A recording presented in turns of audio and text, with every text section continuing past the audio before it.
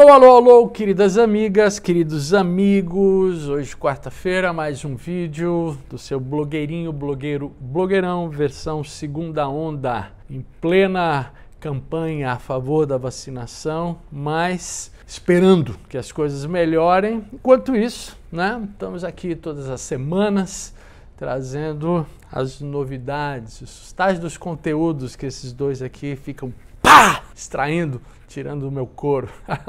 Mas é sempre um prazer estar aqui. Hoje, o vídeo que nós vamos fazer é uma sugestão da Carol, muito boa, que me fez puxar pela memória, o que é sempre um problema.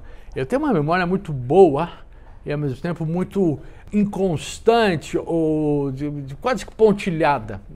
Lembro de alguns eventos com muita precisão, outros me escapam e as razões são sempre múltiplas. Mas eu vou, listei aqui. Ela tinha pedido cinco, eu listei dez. Fatalmente vai acontecer o que sempre acontece depois que o vídeo ficar pronto. Eu vou me lembrar de outros tantos, mas faz parte da vida e do folclore também deixar algumas coisas, né, digamos, para as futuras gerações. Como vocês sabem, eu estou né, na estrada exatamente há muitos anos Ano que vem devo completar 40 anos desde o primeiro show dos Titãs, embora a primeira vez que eu, tenha, que eu subi ao palco foi em 79, ou seja, lá se vão 42. Mas vou começar de novo através daquilo que eu considero que é a minha, o meu histórico profissional. Comecei, como todos sabem, com os Titãs em 82, mas isso que vou contar, o fato número um, provavelmente 84 no máximo em 85. Por quê? Ah, lançamos né, nosso primeiro disco e como era de costume naquela época, ah, as bandas iam se apresentar na televisão com playback, ou seja, dublando a sua própria gravação. Quando fazíamos o programa do Chacrinha na Rede Globo, era de praxe, na, na digamos, na na parceria, né, assim, na negociação, tal do jabá, que nós fizéssemos apresentações em clubes, mas em geral na zona norte do Rio de Janeiro, com os nossos sucessos. E o nosso sucesso, no caso, naquele momento, era apenas Sonífera Ilha. Os Titãs, a gente sempre ficou, era um pouco incomodado com o fato de fazer uma dublagem e tínhamos uma coreografia. Tínhamos uma coreógrafa, Silvia Bittencourt, e fazíamos, né, além das vestimentas das nossas roupas, coreografias para as músicas, os singles, as músicas de trabalho. E é a tal famosa coreografia do sonífero, ele pam, pam, pam, pam. E a história, o perrengue é o seguinte: fomos fazer um playback num clube, não me lembro aonde, a cidade, e era muito era costumeiro que tocassem a música que dublavam, ficasse tocando numa vitrola. Então eu vou juntar dois perrengues. Um deles, a gente tocando num palco, palco Mambembe, né, pulava, e é como a gente pulava, o palco, né, digamos, se movimentava, isso afetava. A gente dançando e eu lembro que o disco ficava pulando. Ou seja, a música não tocava continuamente porque era uma evidência de que estávamos dublados. Quem sabe, quem tem uma vitrola, sabe quando um disco pula. Mas o caso em questão, é, eu estava num palco, ah, no canto, era um palco pequeno e eu era o último. E eu me lembro que eu fui dançando, e fui me movimentando e caí do palco. Caí do palco e felizmente o palco não era muito alto e tinha uma torre de luzes assim apoiada. Eu lembro que eu caí e pá, a torre de luz me segurou de alguma maneira. Caí logo no chão, peguei de contrabaixo, subi e voltei e retomei na maior naturalidade. Provavelmente poucos perceberam do que havia acontecido. Esse é o, o perrengue número um. Número dois é um clássico. Um clássico que é indo para o show, haver uma, uma, uma, um revés né, com um meio de transporte. E há inúmeros desses, mas eu me lembro de um, me lembro de dois, né? agora estou me lembrando de vários, mas dois pitorescos. É o, é o clássico. Você está na estrada, pá, o show marcado, em cima da hora, pá, quebra o carro, e dá aquela maior tensão. Nós tínhamos dois os nossos empresários eram o Jonas, que eu não me lembro o sobrenome, e o Aldo Gueto. E a gente estava num Galaxy, né? Ford Galaxy, rabão de peixe. e eu lembro que quebrou o carro na estrada, aquela coisa. Eu, isso é, é, é, é digamos, do, do, início, né? Quando você vai no carro, o próprio empresário dirigindo e tudo mais. Foi chato porque quebrou o Jonas, foi lá, levantou o capô e não sei o que lá. E depois alguém caiu, o capô, prendeu a mão dele. Não, não foi nada grave, mas foi assim, hoje me lembrando. Mas o mais engraçado foi uma vez que no interior também, não me lembro exatamente qual cidade, eu me lembro só que era durante o dia. Tá, quebrou o carro. Cabe lembrar vocês que nessa época não era, tinha celular, liga e tá, beleza. Hoje o máximo que pode acontecer é se o celular está sem sinal e você não conseguir falar, e, ou sem bateria. Não, não havia isso. Então a gente quebrou o carro, provavelmente uma van, alguma coisa assim.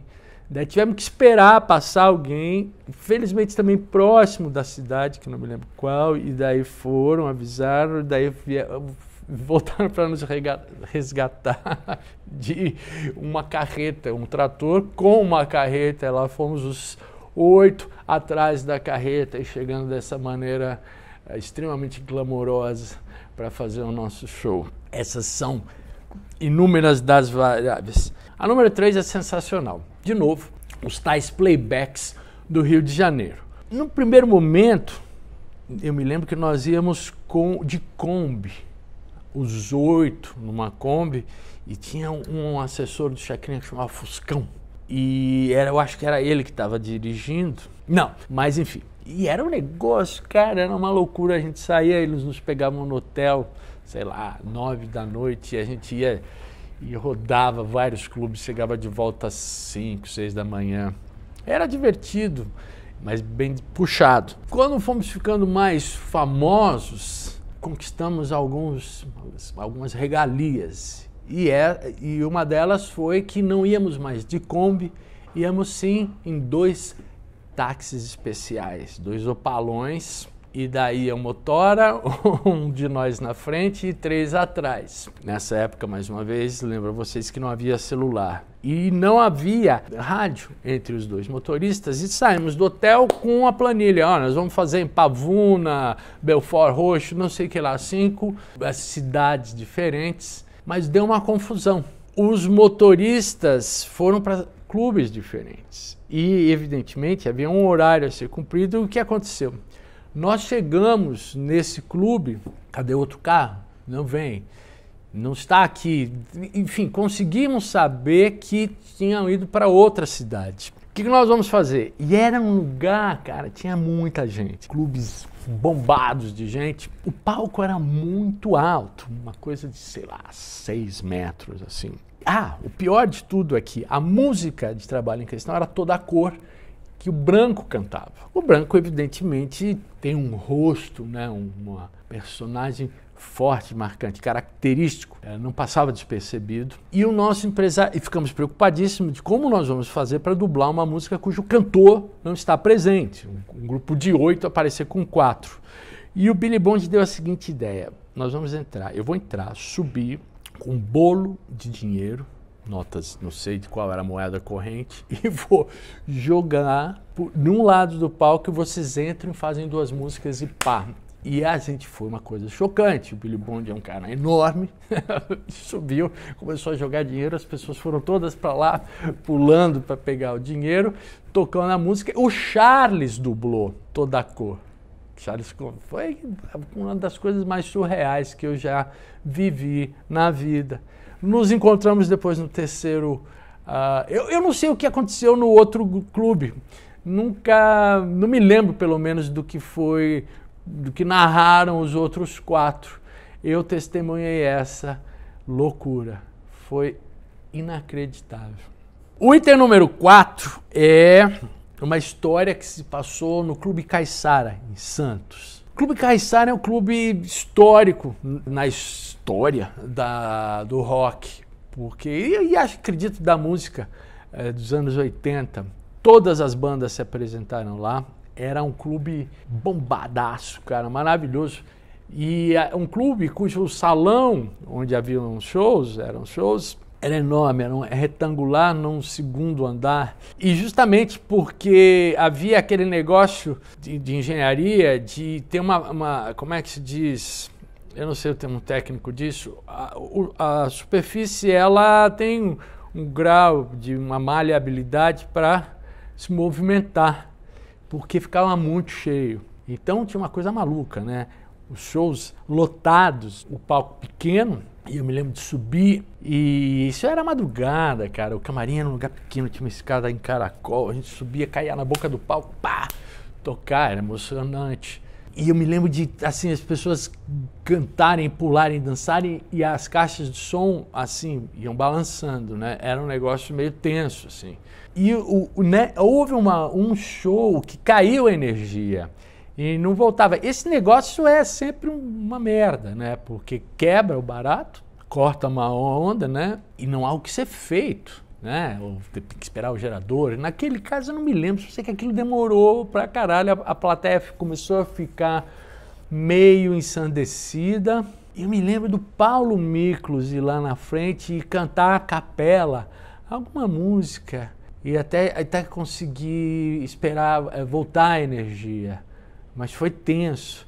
E, esse é um caso clássico. Inúmeros outros shows isso aconteceu, mas é um perrengue danado. O número 5, ah, esse é um perrengue que na verdade não aconteceu num show, né? Embora aqui o, o exemplo é na estrada. é uma história ridícula. Eu estava em Salvador com a Marisa Montes e era numa pá, eu me lembro exatamente qual a razão da nossa viagem. Descemos para jantar. E eu, né, eu tinha uma. Durante muitos anos eu tinha rinite muito grande. E a gente começou a jantar e assim que chegou o prato tinha um ventilador bem na minha cara e, e de alguma maneira aquilo me fez, eu dei um espirro uh, que foi uma bomba. Eu lembro que eu espirrei e senti uma dor absurda aqui na minha lombar e não conseguia comer de tanta dor e lembro que eu não conseguia andar. Eu voltei para o quarto meio como de caranguejo, assim. E é uma dor absurda lá, não conhecia ninguém. Eu lembro que, não sei se foi através do Caetano, arrumaram um acupunturista, mas aquilo não se resolveu. E eu tinha um show marcado, eu tinha que voltar para São Paulo para ir fazer um show. E não pude fazer o show. Não tinha condição de sair da cama. Lembro que avisei a eles e em cima da hora. E é, isso é um maior perrengue, cara. Já aconteceram inúmeros desses. Agora estou me lembrando de vários. Esse é também um clássico, faltar alguém. Né? E daí eu lembro que Fernando Nunes, meu grande amigo contrabaixista talentosíssimo, conseguiu em talvez em algumas horas pegar e, e foi lá em Pato Branco a um show clássico onde Fernando Nunes me representou, pois eu estava sem condições de me movimentar, prostrado num quarto em Salvador. E estamos aqui, o item 6, curiosamente, também se deu em Salvador, e é um, é uma, foi uma, um negócio muito tenso. Salvador é um lugar magnífico, onde sempre faço shows memoráveis, encantadores, inesquecíveis, que é a Concha Acústica, do Teatro Castro Alves. E a Concha, na sua longa história de serviços prestados à música brasileira, sofreu ao longo da, da sua vida algumas reformas. Esse show é de uma época onde não havia a cobertura que há hoje, que em cima do palco. Nessa época, portanto, era a céu aberto, o palco estava a céu aberto. E nós estava, eu acho que era na turnê do Black Blom, porque eu lembro que Arnaldo estava com a gente. E caiu uma chuva absurda, um temporal desses que impediu, era impossível tocar. Nós entramos, estava lotado, lotado, lotado. Transbordava de gente, o público ansioso. E de, por a gente entrou e não conseguimos tocar, não pudemos tocar, tocamos uma ou duas músicas, daí começa aquela loucura, começa a dar choque, pifa equipamento, etc, etc. E a plateia se irritou, se revoltou eu me lembro de começaram a jogar e jogaram pedras, assim, foi um negócio que tenso. E a tensão maior foi porque tivemos que sair e ir embora, né? Não havia condição. Dentro de novo de uma Kombi ou de uma van, só sei que eram um carro assim, e a saída do, do artista, de quem estava lá, era a mesma da plateia. E eu lembro que estava toda a plateia saindo, indo embora. Foi uma imprudência absurda. E nós estávamos dentro da van e todo mundo viu que nós estávamos indo embora, né? E putos da vida.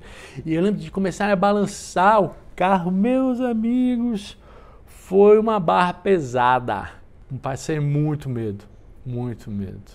Enfim, sobrevivemos. E a concha, né? De, não sei se por conta desse episódio, mas provavelmente por impedir, evitar que isso se repetisse, né? Tem uma cobertura hoje lá. O sétimo episódio é engraçado e tenso também. Todos esses perrengues, no fim, hoje eu posso lembrar deles dessa forma jocosa, mas barra pesada, velho. Esse aqui, menos, mas foi uma coisa, é uma situação inusitada também. Acústico então, 97, 98. Olímpia, grande casa de shows aqui em São Paulo. Titãs arrebentados, bombados. A gente fazia sessões duplas, é, de show de quinta a segunda-feira. Era uma loucura. E tinha um problema de censura nessas casas noturnas.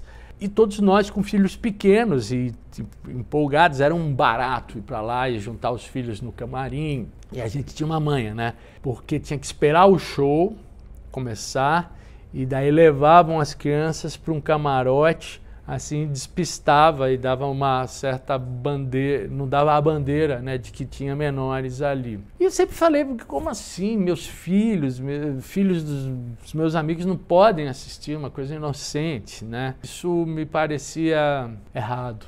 E de alguma maneira eu fiquei sabendo que tinham implicado e tinham retirado as crianças lá do camarote e, elas tinham que ficar presas, vamos dizer assim, no camarim. Me revoltei e, e, e, de uma forma também, hoje eu reconheço que injusta, eu falei assim, fiz um discurso, né, assim, tipo, indignado, e falei do segurança, chamei eles de gorilas engravatados, o que deixou-os completamente enfurecidos. E provavelmente os seguranças também eram policiais. E eu me lembro do Edu, Eduzão, nosso produtor, falando, bicho, eu lembro que eu olhava para a boca do palco ali né, e estava tendo uma confusão. Subiram uh, e estavam falando, Nando, segura aí porque querem te interromper o show e te levar preso. então tinha uma, uma coisa que ele acho que foi contornado porque eu não fui preso. E acabei tendo que me, me, me desculpar, porque afinal de contas, de novo, né, eles estão ali, é uma ordem do juizado de menores, não tem nada a ver e eu acabei sendo. não era culpa deles. Esse negócio de, de polícia, teve um outro show que o Branco também falou alguma coisa Eu gostaria de lembrar, mas não me lembro nem o que ele falou. Mas daí foi pior. Em Minas Gerais, Minas Gerais dos anos 80, era sujeira, velho. Sujeira. Pegaram o branco, levaram para uma. O branco falou alguma coisa, subiram, ou depois do bis, arrancaram, levaram para uma sala, trancaram, e a gente apavorado, falando, bicho, vão bater no branco, né? Foi só um terror, não aconteceu nada. Mas, vixe, Maria. O oitavo que já é mais do que oito, é engraçado também. Isso é anos 2000, exatamente no ano 2000, porque gravei nelas em fevereiro Para Quando, meu segundo disco solo. Os Titãs estavam em férias e eu tinha gravado em Seattle. Daí trouxe Barrett e Alex para o Brasil. Paguei visto de trabalho, uma fortuna e tal. Crente que ia ter uma turnê bacana e nada disso. A única turnê que eu consegui fazer, montamos show, tal, tava com eles aqui, foi graças à minha querida Irá Carvalho, fomos para o estado da Bahia, de ônibus, do Rio de Janeiro para lá, poucos shows. E um deles era em Feira de Santana, que eu também não tenho muita certeza. Cambraia pode me desmentir ou confirmar, mas eu não tenho como. Mas que seja. E do, de tarde no, no tem uma coisa que é típica. Em geral, tem os horários, né? A passagem de som, 5 da tarde, 4 e meia. Quando começa a atrasar, é porque alguma coisa deu errado. Nunca é boa coisa. E eu me lembro que tá 5, 5 e meia, 6, 6 e meia, 7, show era, sei lá, 10 da noite. Falei, o que está acontecendo?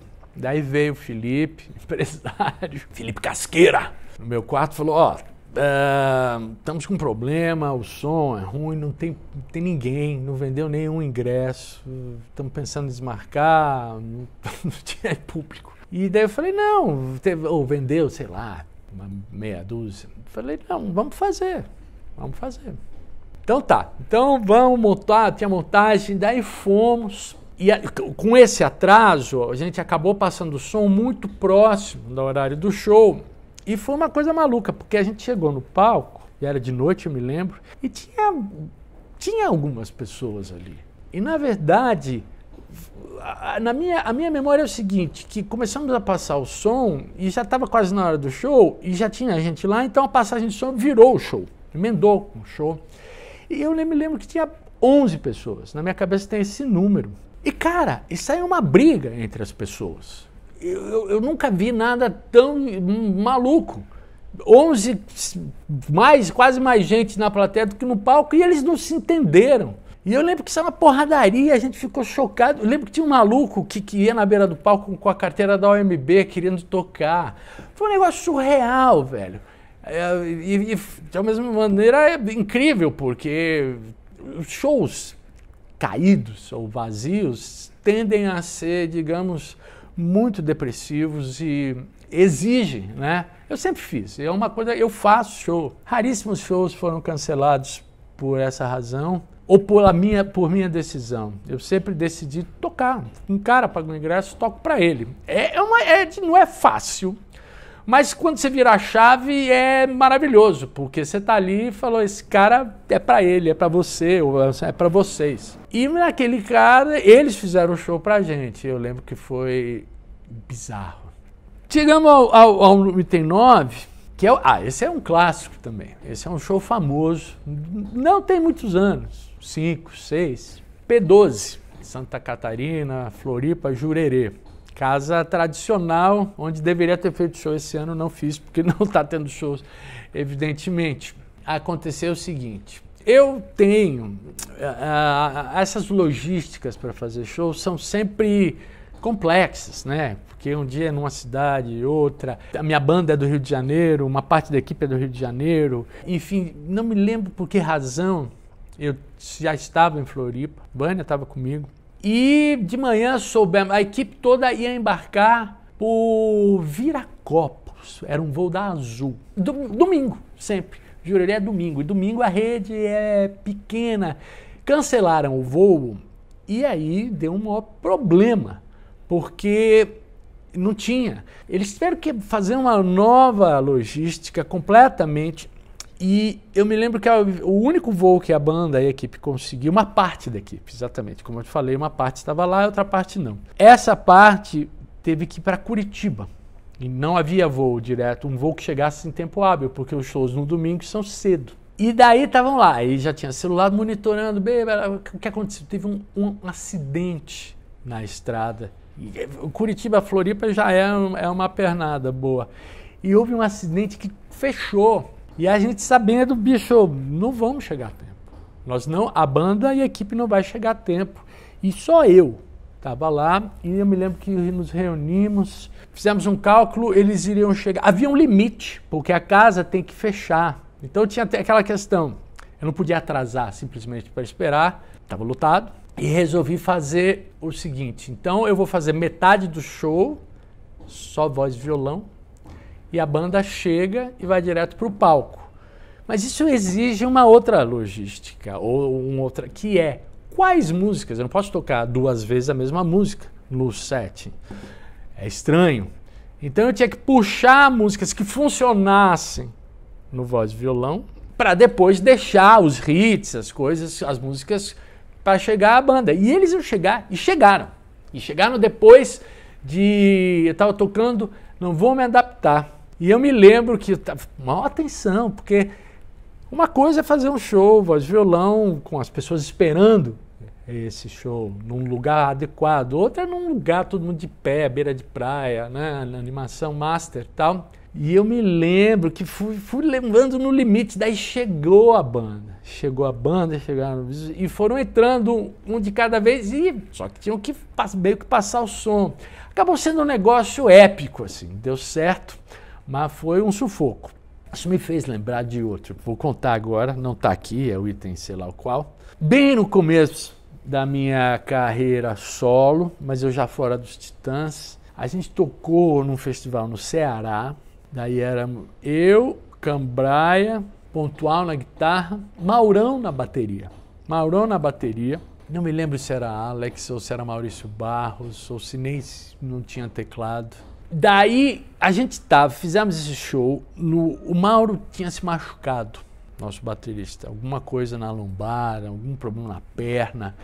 E ele conseguimos fazer o show lá em Fortaleza no domingo, de novo, domingo. Domingo é o dia, parece que é ali onde todas as coisas acontecem. De manhã, saindo de Fortaleza, o show era em Garanhuns. A gente iria de, de Fortaleza para o Recife, daí pegar uma van. O Mauro de manhã fala: Eu não vou, eu não estou em condições, eu não consigo tocar. Estava tipo arrastando a perna. Eu falei: Como assim você não vai? Eu não vou, não dá para tocar.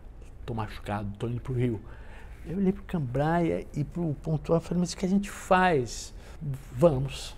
Fomos, vamos pensar, a gente resolve. Daí chegamos no Recife, e daí era o festival de inverno lá em Garanhuns e tinham dois palcos. E o nosso era no praça pública. Também bastante gente, opa, bastante gente. E daí estávamos indo para lá na van, comentando alto, o que, que nós vamos fazer? Vamos fazer acústico, temos que fazer acústico. Pô, mas acústico, qual é o repertório, o que, que funciona? Vamos pegar essa música que não estava no repertório. E tinha um cara, o um rapaz que estava ganhando a van, de repente ele vira pra gente e fala assim, mas eu sou batera. Daí eu falei, como assim? Eu fui o primeiro batera da Nação Zumbi. Eu falei, quê? Eu sou o Jason. Eu falei, mas velho, como? Você topa tocar? Ele falou, topo. Daí eu falei, então fechado, mas você sabe tocar alguma música minha? Ele falou, sei, sei lá, Segundo Sol, Cegos do Castelo. Eu falei, então fechou, velho. Então, daí passamos o som, Jason passou com a gente, eu não sei quantas músicas, não me lembro.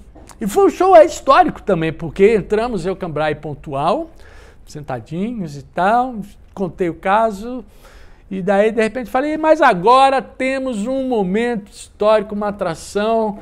Tenho a honra de chamar aqui ao palco Jason. Eu acredito que seja esse o nome, se não for, me desculpe. Primeiro baterista da Nação Zumbi. O Pilo tá aí para me confirmar depois ou me dar um pito. E ele entrou e foi um estrondo também.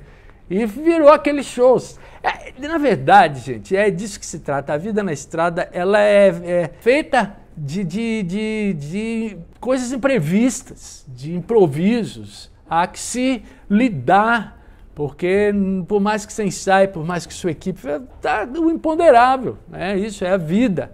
Né?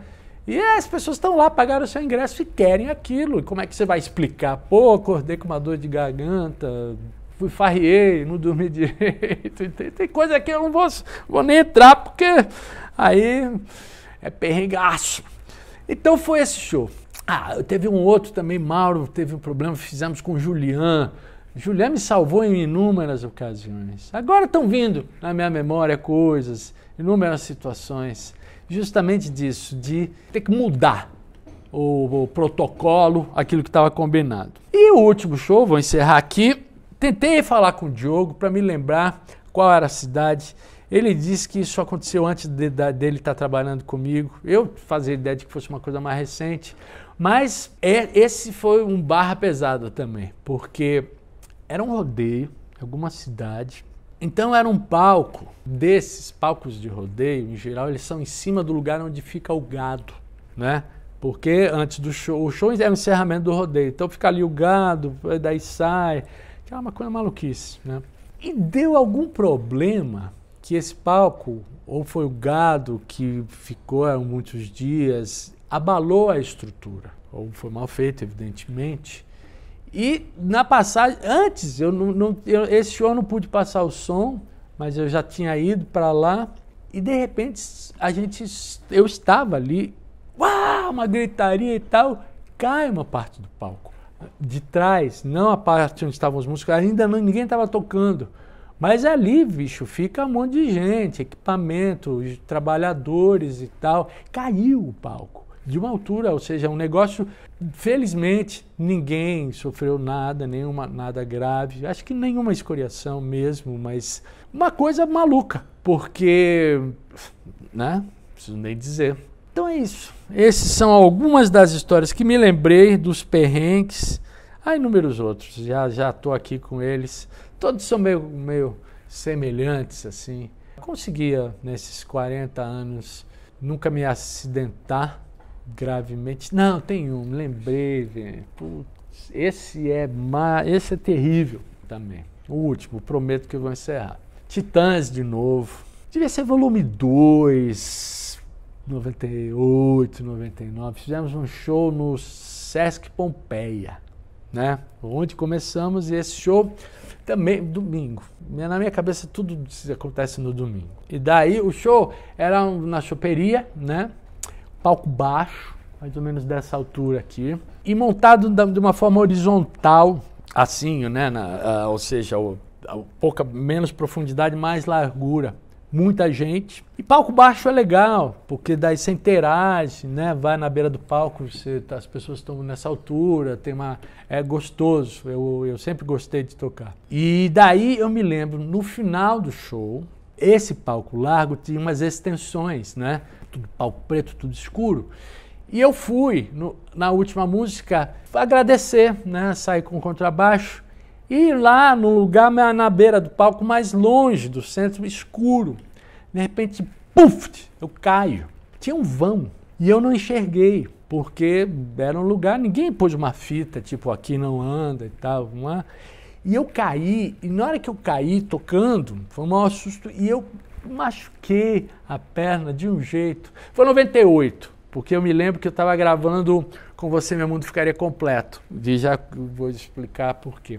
E daí, uma dor absurda, absurda. Eu achei que eu tivesse quebrado o fêmur. Daí me, me, eu lembro o Laurão me içando, assim, ah, tal, acabou o show. Era, tava agradecendo, tava agradecendo, já tinha terminado. Daí fui pro camarim mó dor, ah, sei que lá, daí beleza, dá pra voltar, dá. É, tomei um, provavelmente um escão naquela época. Um escão, dava aquela é, anestesiada. E eu lembro que a Vânia chegou e falou: Ah, Nando, você está exagerando, sempre achando que eu não, não tenho resistência à dor. Toquei, né? Fiz o bis e lembro que voltei. Acabou o show, entramos no ônibus para nos trazer e levar embora. E eu lembro que o ônibus saculejava assim e doía uma barbaridade. É daí que a Vânia falou: Você está exagerando, para de frescura, sei lá o quê. E eu falei: Está doendo.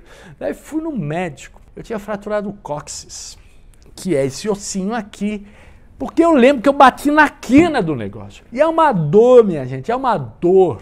É uma dor que você não, não dá para fazer porra nenhuma. e eu me lembro que foi nessa época porque eu tinha gravação no Rio, do disco da Cássia.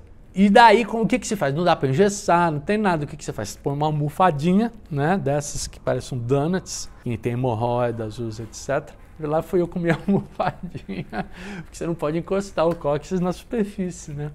E fiz a gravação. Então é isso, minha gente. Alguns perrengues da minha vida. Quem vai a show sabe que é, isso acontece. Para quem já viu outros tipos de perrengue, já deixo aqui de novo minhas desculpas. Hoje eu sou um rapaz ajuizado. Daquilo que tiver na minha mão, nunca mais tem perrengue, mas não é assim. As coisas acontecem e a gente tem que se virar. Então tá, espero que vocês tenham gostado. Quarta-feira que vem a gente está aqui. A gente quer dizer, eu e vocês, né? Você que está inscrito, tá sabendo. Quem não é, caiu aqui, porra, né? Vamos colaborar. Se inscreve, bicho. Ajuda o artista desempregado. Eu, eu tô com saudade de ter perrengue na estrada, de fazer show no domingo, perder voo, cancelar voo, não tem mais nada. Cadê a vacina? Pazuelo. Beijo.